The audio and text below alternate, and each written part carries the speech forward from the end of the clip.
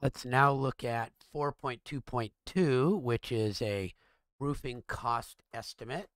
We know that often the cost estimate is just based on the area of a roof. So if we can find the area of a roof, we'll have a good idea of the cost to uh, uh for the materials at least. So here we go. We're going to access the uh, roof area file. We'll find the roof area and then we'll see how the roof pitch. That's its slope. That's how steep it is. It can be anywhere from 12 on 12. That means for every uh, 12 inches I move sideways, the roof goes 12 inches up, down to a low uh, pitch roof that might be 2 inches on 12. That's pretty flat. So every 12 inches or that you uh, go across the roof, it only goes up two inches. Okay, and then we'll we'll just um, put some stuff in the workbook. Let's take a look. Let's open the file, and again, it's the roof area estimator or roof uh, estimator.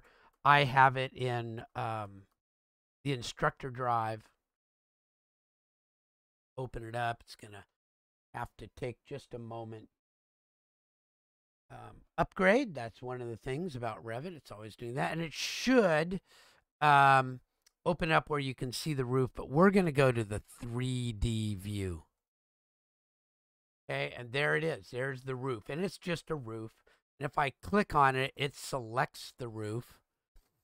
And um, this particular one is built with uh, eight inch wood rafters, asphalt shingles, insulation. So there's a lot of information in Revit about that roof, but right now it's just kind of a picture of a roof.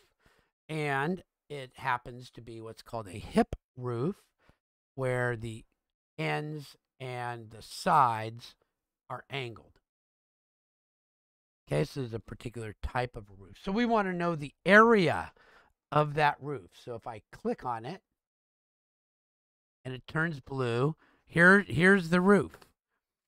Okay, and if I move down a little bit, it gives me the slope. That's a 6 on 12 slope, and the area is shown a little bit lower.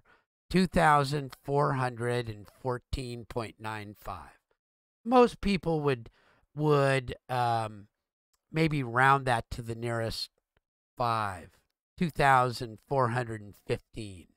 Some people round it to the nearest uh, 25. So that would be 2,425. It depends on what company you're working for. But there's the square feet of the roof, and that's of that's that's the actual area of the roof. It's not the projected area like if I was looking straight down on it and I did an area calculation of width times length, it would be different. I'm getting the actual area of this cool shape plus this cool shape plus this cool shape plus this cool shape. Okay, and if I want to change this, I can do that. I can make it maybe a 9 on 12. I just change that. And you can see now it's a steeper roof can even grab it and do it. Isn't that, isn't that kind of weird? Okay, but I'll undo those right now. Okay, there we go. And now I'm back to click on my roof again.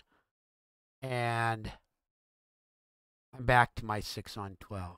So that's how you change it. You type in a new number right here. Let's look at that 9 on 12. Click apply. 2,700 square feet. Let's try um, try 5 on 12. 2,340 square feet. So you can see how this works. And I think my uh, thing that I'm supposed to do is just click on the roof and then look at the properties box and note it, and then change it to see what changes as you do that. So here we go. I'm going to bring this over here. And I'm going to bring it over close to it so that I can see it. And now I'm going to take a snip of that.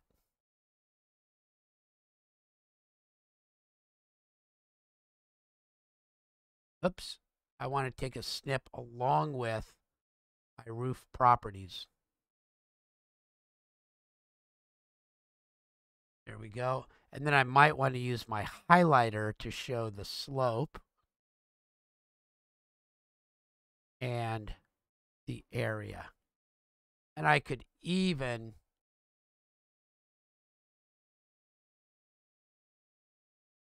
make it really obvious.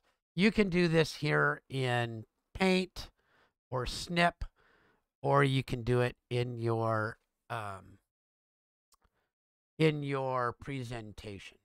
Okay, so there we go. That is 4.2.2 roof cost estimates based on area. So of course we need to know the area.